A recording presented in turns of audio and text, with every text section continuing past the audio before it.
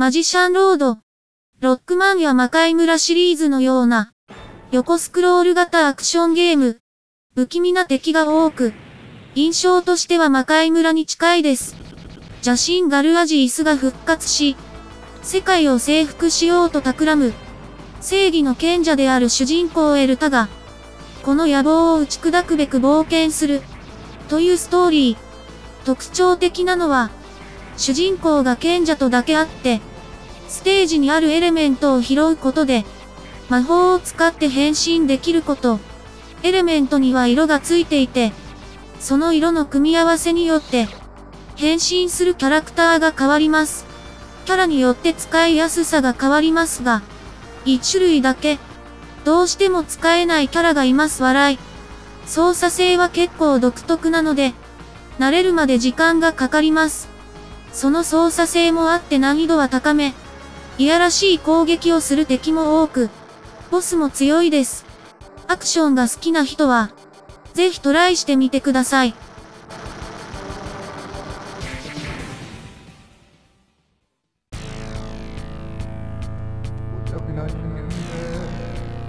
神の裁きを受けよ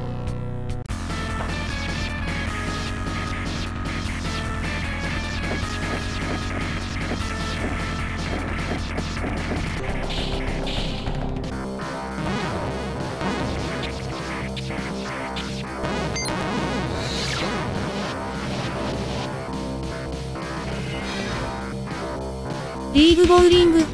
競技人口は多いはずなのに、ゲーム化されにくいボウリングを題材にした、シンプルなゲームです。レバーの左右で立ち位置を決め、ボタン一つで球種とタワーを決定して、投げる、という簡単な操作で、誰でもできて手軽なところが売りです。簡単操作なのにちゃんと、スピンやカーブなどができて、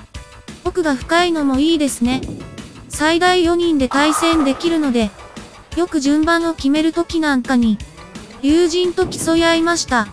銀を1本残したぐらいでオロオロしたり、ガーターした時はなぜか落下するなど、オーバーすぎるリアクションも笑えます。全10フレームでゲームが終わるので、サクッとプレイできますが、あまりにも早く終わりすぎるので、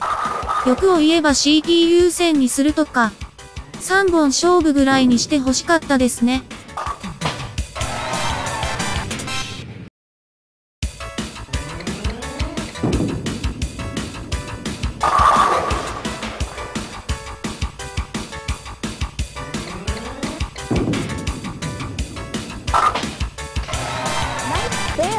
NAM1975 ネオジオのローンチタイトルのアクションシューティングゲーム誘拐された科学者ムックリー博士と、娘のナンシーを救出する、という任務を果たすべく、主人公二人がベトナムに乗り込むストーリー。固定された画面で、無敵になる回避アクションと、2種類の武器を使い分けながら、敵を倒して進んでいきます。今見返してもグラフィックがとても美しく、綺麗にドット絵が描かれています。また演出が細かく、ステージとステージの間には、デモが入りますが、それが大迫力。かつ敵の表情も見えて、まるで映画のようです。とても雰囲気は良いのですが、難易度はかなり高め。敵の攻撃が苛烈なので、守りに入りたくなるのですが、逃げていても、次から次に敵が出てきて、不利な状況になってしまいます。いかに打ち漏らさないかが、大事になりますが、それが難しいんですよね。もうちょっと難易度は抑えめでも、よかったかな。プレイに自信のある人は、ぜひ挑戦してみてください。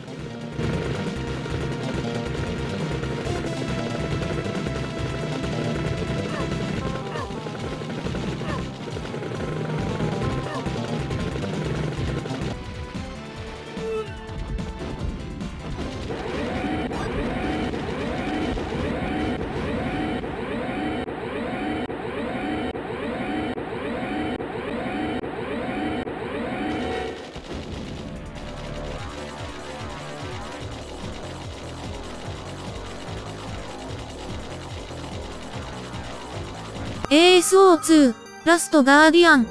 ASO の続編になる縦スクロールシューティングゲームです。プレイヤーは次期 SYD を操作して破壊神フルバレンスフローマによる地球侵略を阻止するのが目的です。ゲーム内容はゼビウスタイプの縦スクロールシューティングで対地対空を打ち分けるシステムです。全部で6エリアあって、特定の条件を満たすことで、2周目に挑戦できます。ステージ内に出現するパーツを3つ揃えると、アーマーを装着することができます。レーザー、火炎放射、ショットガン、などの特殊攻撃が可能になります。開始時に2種類の操作パターンを選べます。初心者向けのミサイルとレーザーを同時に発射できるモードと上級者向けの別々に発射できるモードがあります。本作はゲーム誌、ゲーメストの第5回ゲーメスト対象で、シューティング部門9位になりましたが、前作に比べると評判は芳しくなかったです。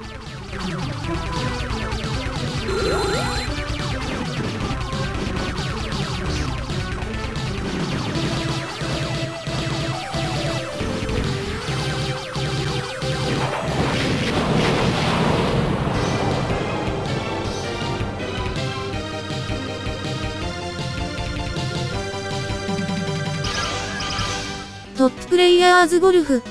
SNK からリリースされたスポーツゲーム、至って普通のゴルフゲームです。18ホールをプレイして、その合計の打数を競う、ストロークプレイ、ホールごとに勝負をして、勝ったホール数が多いプレイヤーが勝つ、マッチプレイ、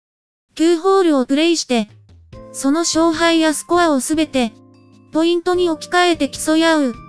夏王ゲーム、という3種類のゲームモードがあります。コースは2種類あって、トッププレイヤーズカントリークラブと SNK チャンピオンシップゴルフコースから選んでプレイできます。操作も簡単で、キャディーさんのヘルプもあるので、初心者でもプレイしやすくなっています。当時のゴルフゲームとしては、格段に美しい臨場感のあるグラフィックで、プレイヤーの目を引きました。To you.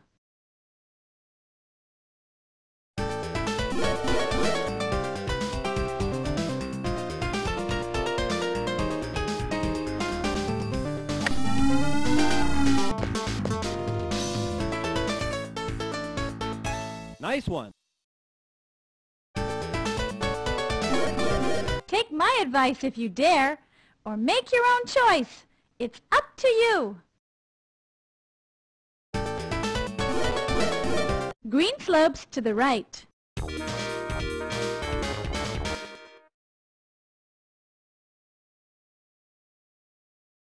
Putt for par. パルスター。自分たちの技術力を知ってもらうために、あえて R タイプに似せて作られた、ネオジオでは数少ない、横スクロールシューティングです。それ以外にも往年の名作を、オマージュしたようなところが随所にあり、シューティングゲームに対する愛を感じてしまう内容になっています。女性パイロットが必死で走る姿が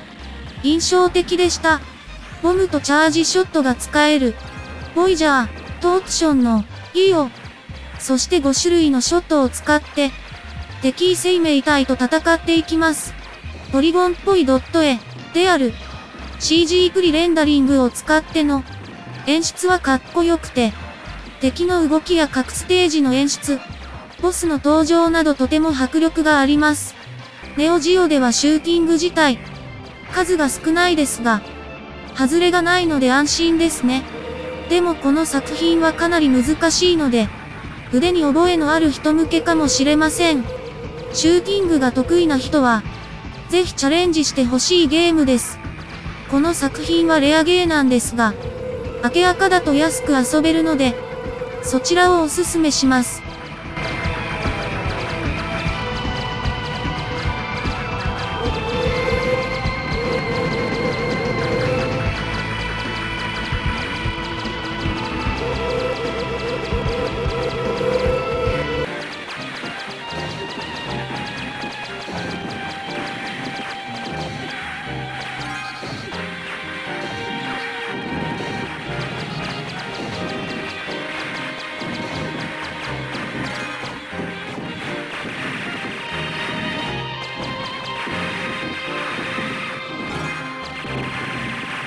国伝承2001。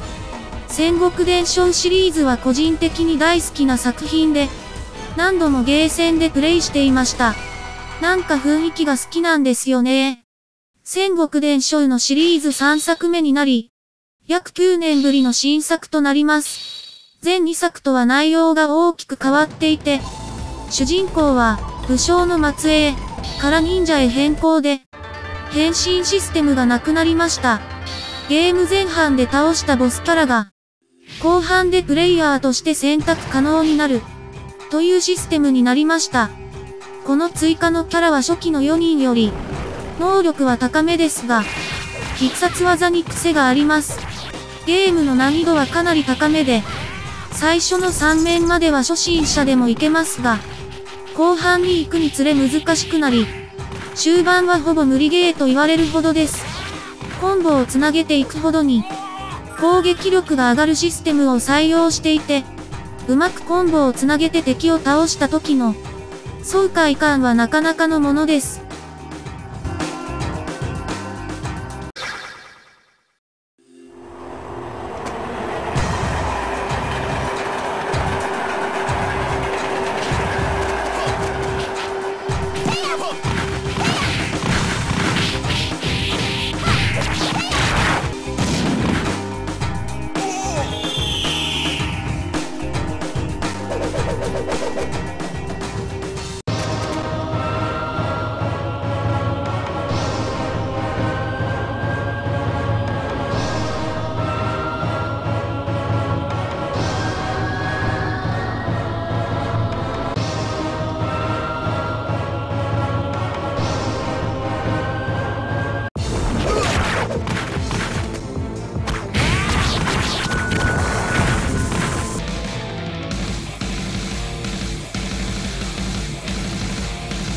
ファミコン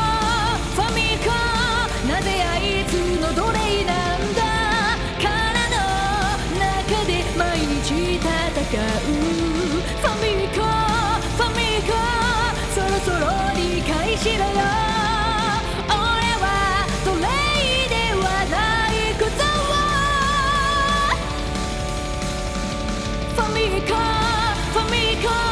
実は自分に